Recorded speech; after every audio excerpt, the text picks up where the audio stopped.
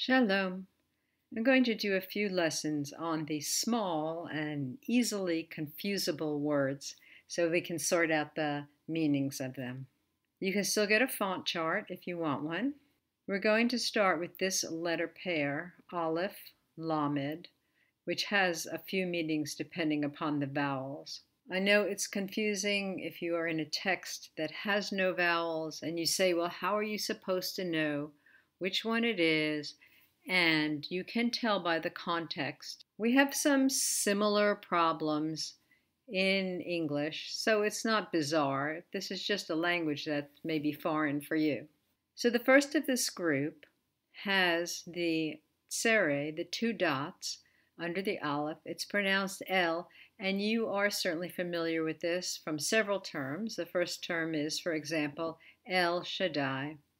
Genesis 17:9. And when Abram was ninety years old and nine, Jehovah appeared to Abram and said unto him, I am the Almighty God.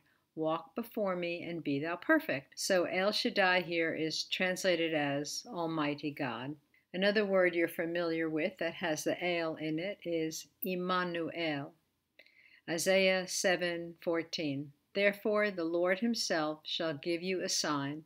Behold, a virgin shall conceive and bear a son, and shall call his name Immanuel. Im, which is a pair we'll eventually cover, it means with. Anu means us or we. El, God. Immanuel, God with us. So here are some examples where this word El is used.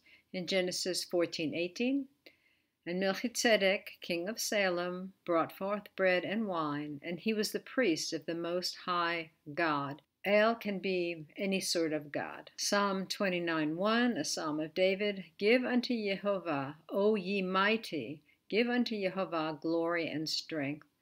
So the phrase in Hebrew there is actually B'nai Elim, sons of the mighty, but it's not referring to Jehovah because the verse says, Give unto Jehovah. Who is supposed to give?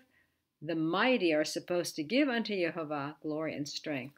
It can be used for any pagan gods, for example, Exodus 15:11, who is like unto thee, Jehovah, among the gods, who is like thee, glorious in holiness, fearful in praises, doing wonders.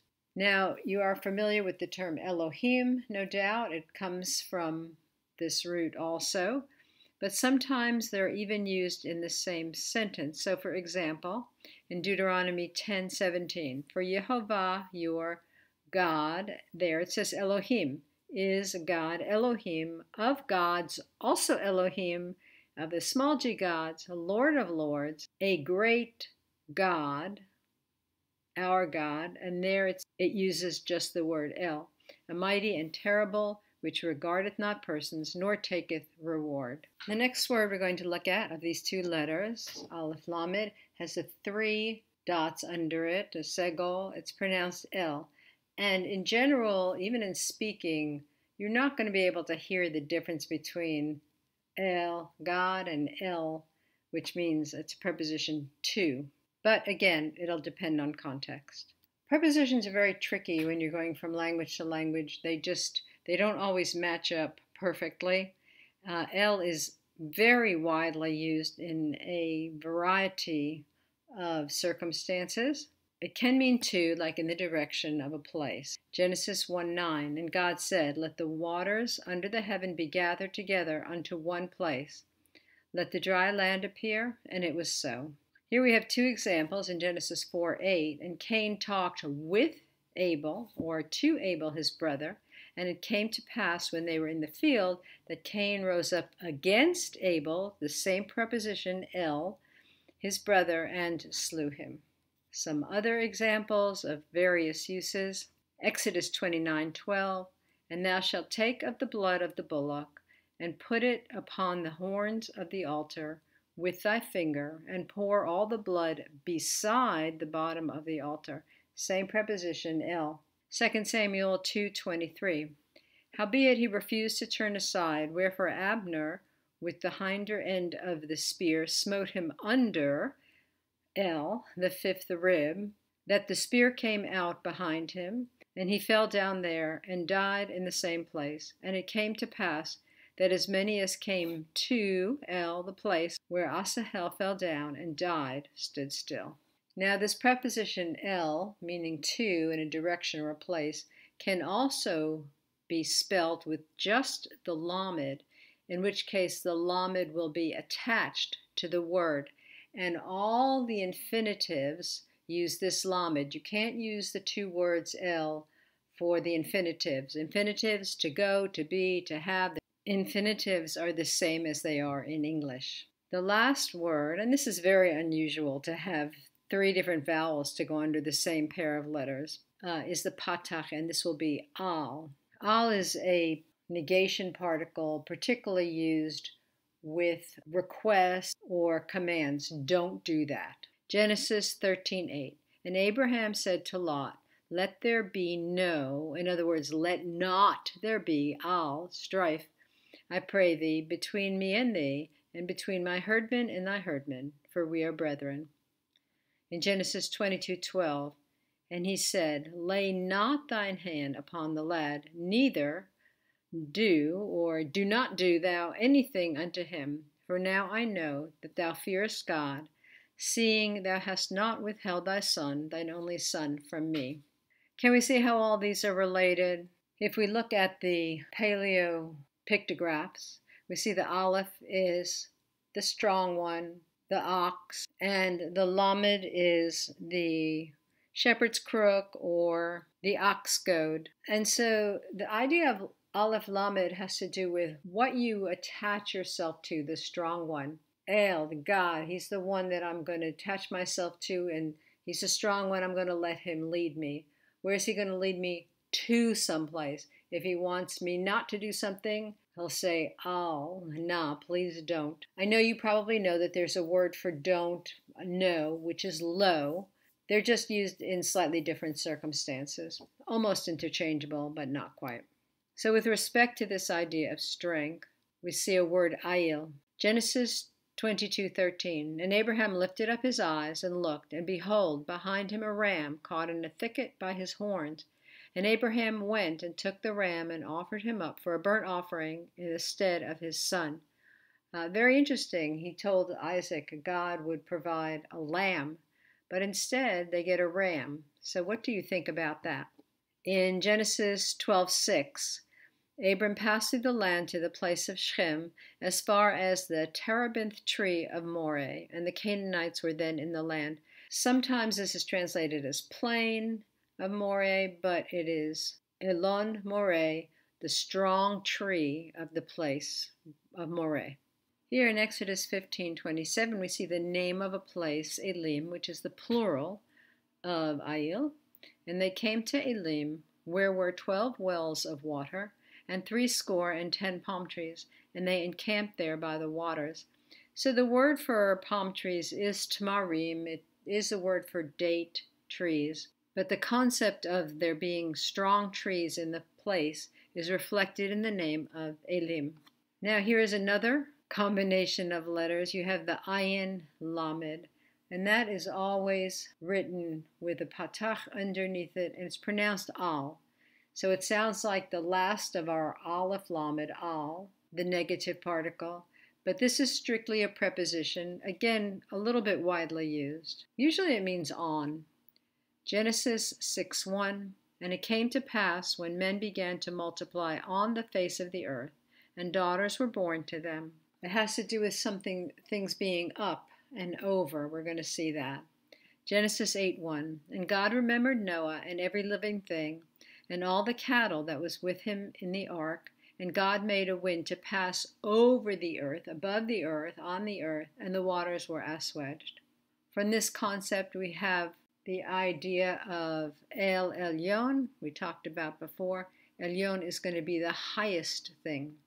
Genesis 14:18 And Melchizedek, king of Salem, brought forth bread and wine, and he was the priest of the Most High God. The El of El Elyon is God, Elyon is the Most High. In a different context, Genesis 40:17, and in the uppermost basket there was of all manner of baked meats for Pharaoh, and the birds did eat them out of the basket upon my head. The baker in jail with Joseph. Here's a word aliyah, which has to do with things that are up. First Kings 17:19.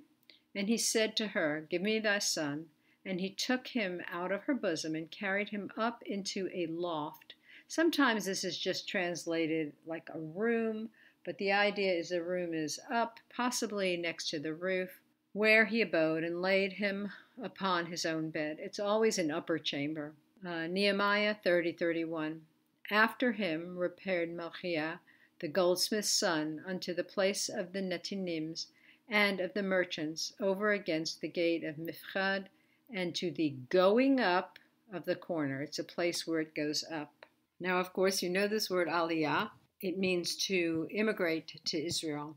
And this is a concept, Torah concept, no matter where you are in the world. If you go to the land of Israel, you go up.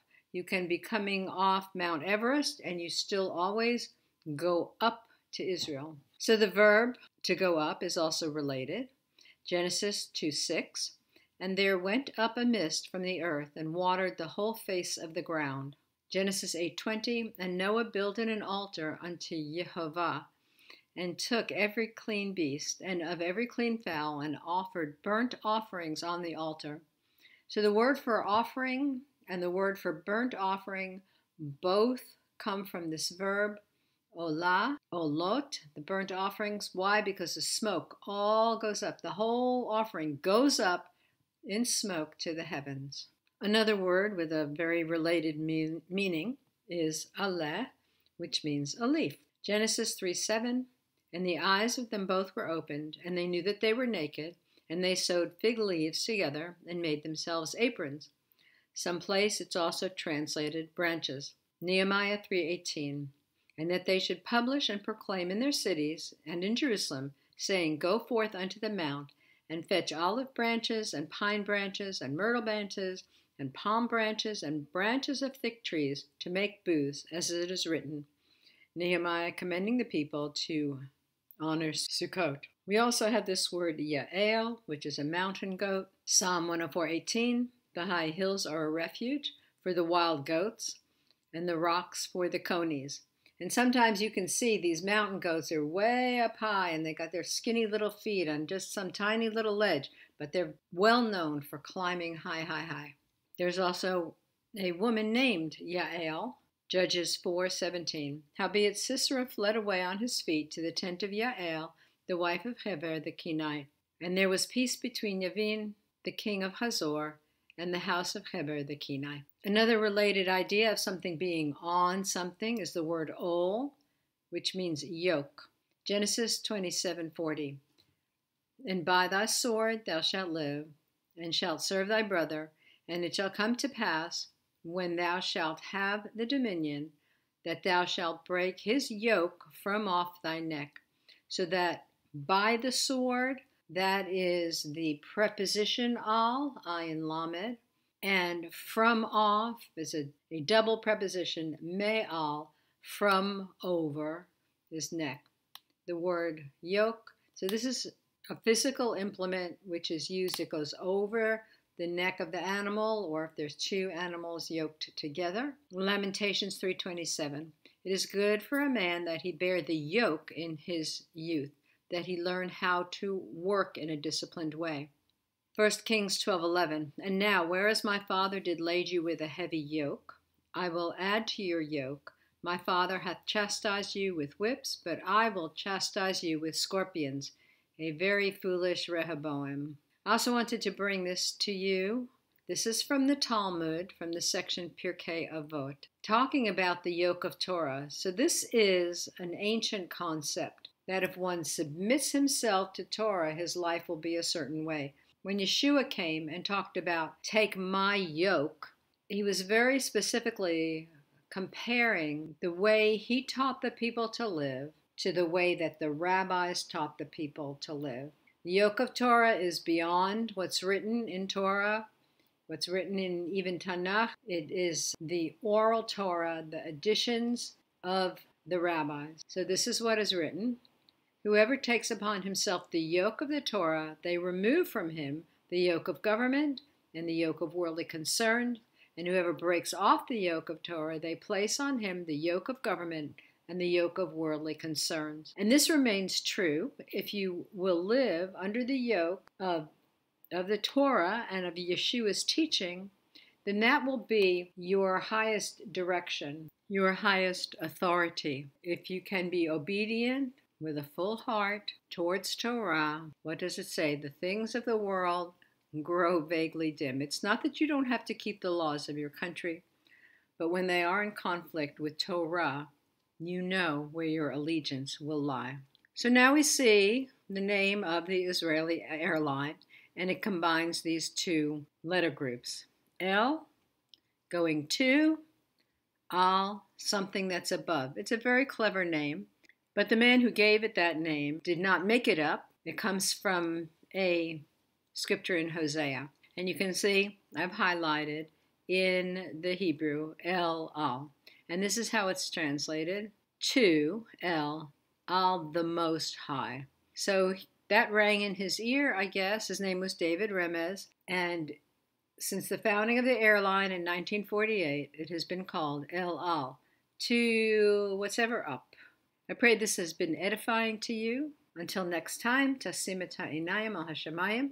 Keep your eyes on the sky. Your redemption draweth nigh. Shalom.